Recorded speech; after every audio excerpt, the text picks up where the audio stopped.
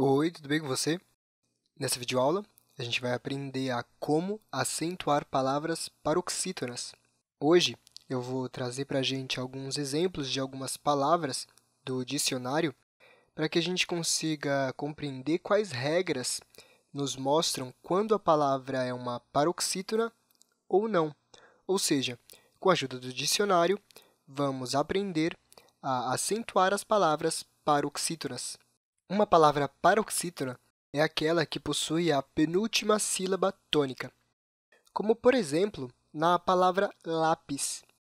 A palavra lápis possui duas sílabas, a sílaba lá e a sílaba pis.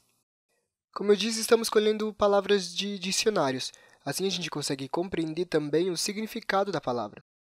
Bom, com a palavra lápis, a gente tem o seguinte verbete de dicionário cilindro de madeira com grafite em seu interior, usado para escrever.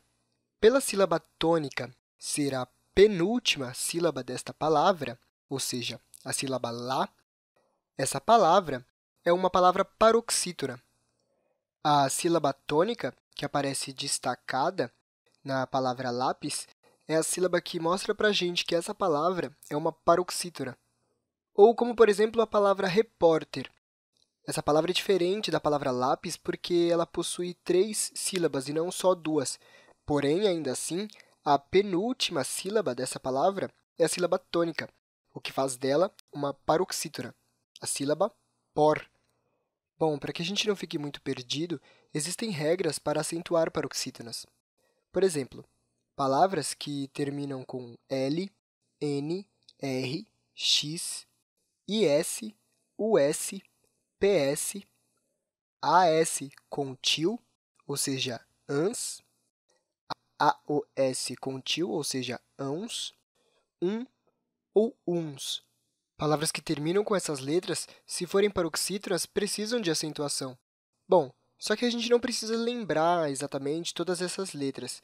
Se a gente tiver o costume de ler e escrever bastante, por exemplo, a gente consegue memorizar com facilidade essas regras, como, por exemplo, as palavras lavável, pólen, repórter, tórax, lápis, bônus, bíceps, sótão, álbum.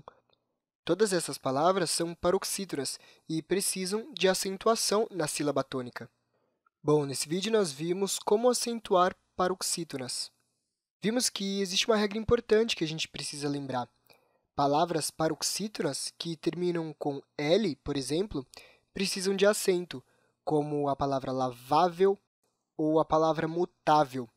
As duas terminando com L e que possuem a penúltima sílaba como sílaba tônica.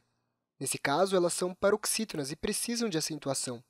Vimos também que existem outras letras que nos ajudam a perceber quando a palavra paroxítona precisa de acentuação.